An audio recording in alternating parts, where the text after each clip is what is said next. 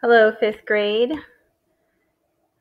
Um, I decided that today I'm going to read some from Joel, a boy of Galilee, for you. Um, you don't have to watch this video, but if you feel like you're reading it and you really don't understand what's going on in the story, I figured I'll record myself reading so we can kind of discuss it as we go. Um, and if you want to listen and follow along, that's fine. If you want to just read it on your own and answer the questions, that's fine too. It's whatever you feel comfortable with for this. I would like you still to read it on your own. Don't just listen to the video. But I figured for those of you who maybe aren't understanding what you're reading, I'll read it for you, and that way you have that as an option too. I did post um, some vocabulary activities on Google Classroom. So you have some Quizlet um, activities to do with the vocabulary now, so you don't have to just define them. And there's also um, questions for each chapter to answer on Google Classroom as well. So I suggest for reading, find yourself a nice comfy spot to sit in. Um, I have my nice comfy couch I'm going to sit and do my reading in. You can do that with your textbook reading also. This is, you know, really a good opportunity to not have to sit in those uncomfortable desks all the time. So anyway, make yourself comfortable. And I'm going to read from chapter 4. Okay, so this is chapter 4 Joel, a boy of Galilee. Next morning, a goodly train set out from the gates of Nathan ben Obed. It was near the time of the feast of the Passover, and he, with many of his household, was going down to Jerusalem. And by the way, you may have forgotten since it's been so long, but in the last chapter, we had just read about the old shepherd who could remember um, when Jesus was born and he heard all the angels and he saw them all. And then he went to meet Jesus when he was born and placed in the manger. That was what happened in the last chapter. So, um, Nathan ben Obed, that's the man who worked with the shepherd.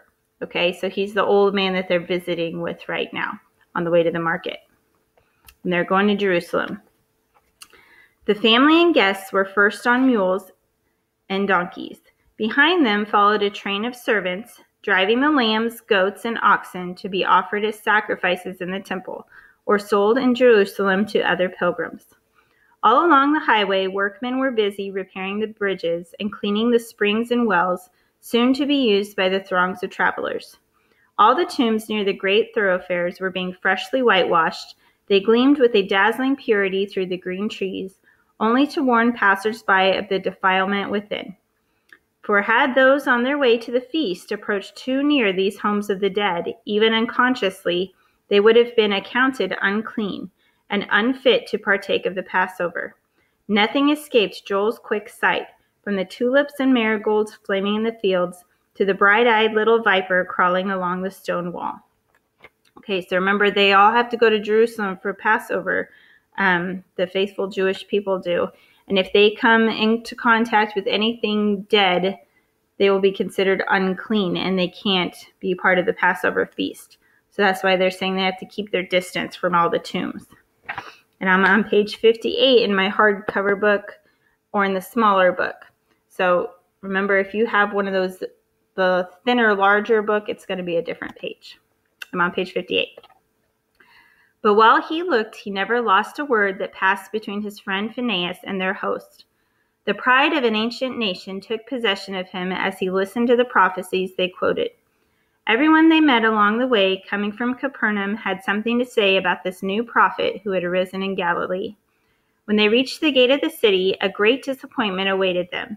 He had been there and gone again. Nathan ben Obed and his train tarried only one night in the place and then pressed on again towards Jerusalem.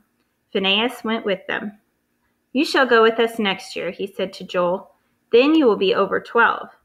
I shall take my own little ones too, and their mother. Only one more year, exclaimed Joel joyfully. If that passes as quickly as the one just gone, it will soon be here. Look after my little family, said the carpenter at parting. Come every day to the work if you wish, just as when I am here. And remember, my lad, you are almost a man. Almost a man? The words rang in the boy's thoughts all day as he pounded and cut, keeping time to the swinging motion of hammer and saw. almost a man, but what kind of one? Crippled and maimed, shorn of the strength that should have been his pride, beggared of his priestly birthright. Page 59. Almost, it might be, but never in its fullness, could he hope to attain the proud stature, the proud stature of a perfect man. A fiercer hate sprang up for the enemy who had made him what he was, and the wild burning for revenge filled him so he could not work. He put away his tools and went up the narrow outside stairway that led to the flat roof of the carpenter's house. It was called the upper chamber. Here a latticed pavilion, thickly overgrown with vines, made a cool green retreat where he might rest and think undisturbed. Sitting there, he could see the flash of white sails on the blue lake and slow moving masses of fleecy clouds in the blue of the sky above. They brought before him the picture of the flocks feeding on the pastures of Nathan ben Obed. Then, naturally enough, there flashed through his mind a thought of Buzz. He seemed to see him squinting his little eyes to take aim at a leaf overhead. He heard the stone whirr through it as Buzz said, I'd blind him. Some very impossible plans crept into Joel's daydreams just then.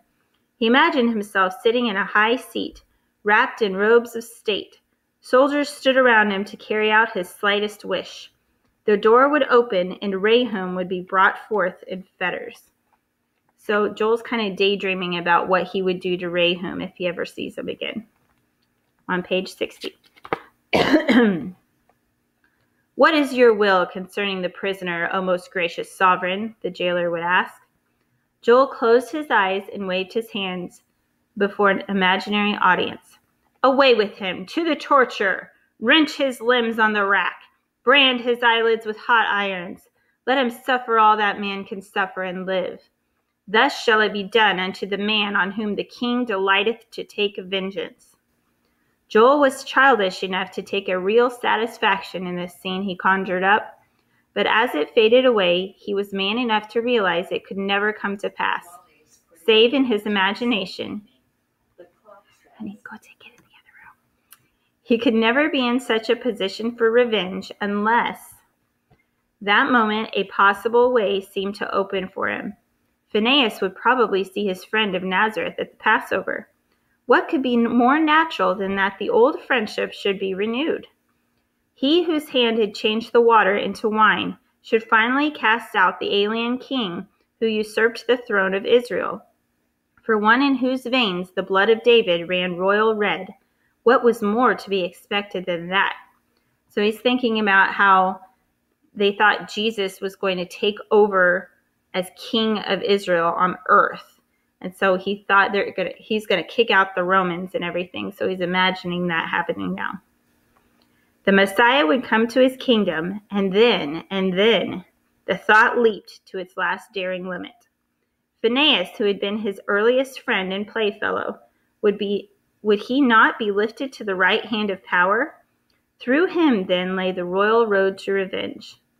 The thought lifted him unconsciously to his feet. I'm on page 61. He stood with his arms outstretched in the direction of the faraway temple, like some young prophet. David's cry of triumph rose to his lips. Thou hast girded me with strength unto the battle, he murmured.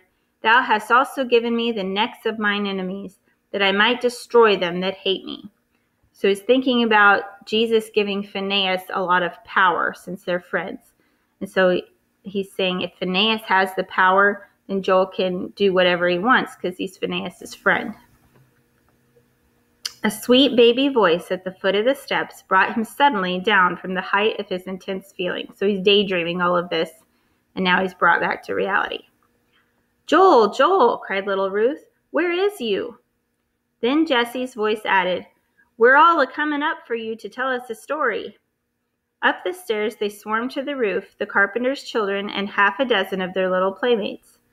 Joel, with his head still in the clouds, told them of a mighty king who was coming to slay all other kings and change all tears, the waters of affliction, into the red wine of joy.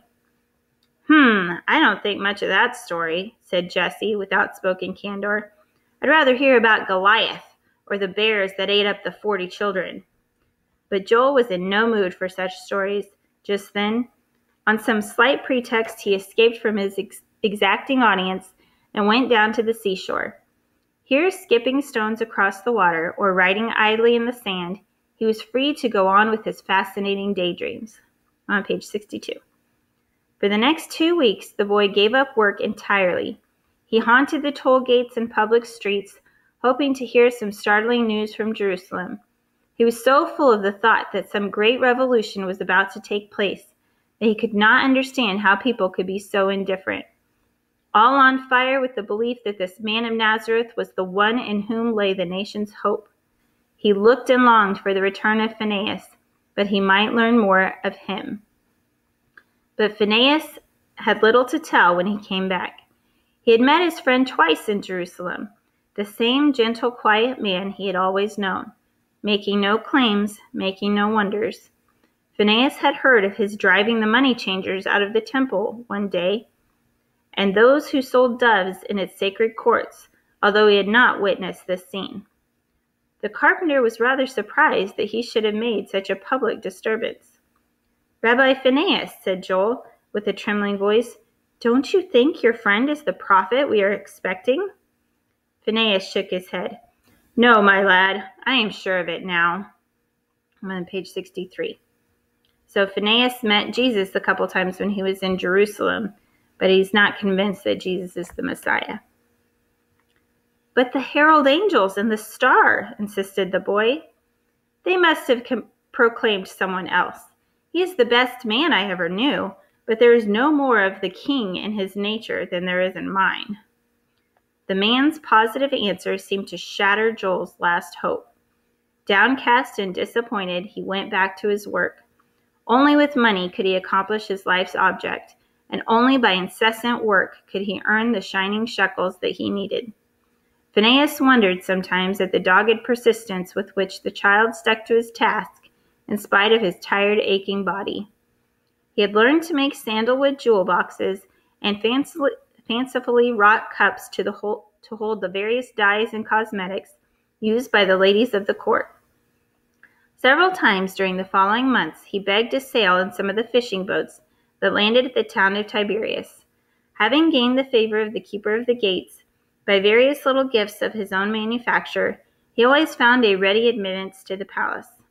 To the ladies of the court, the sums they paid for his pretty wares seemed trifling, but to Joel, the small bag of coin hidden in the folds of his clothes was a little fortune daily growing larger.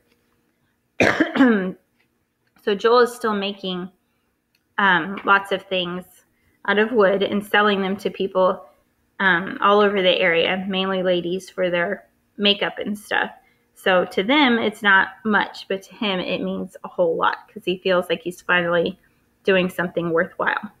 Okay, so that's chapter four. So don't forget to do the vocabulary activities on Quizlet and answer the questions on Google Classroom. And then we'll move on to chapter five next time.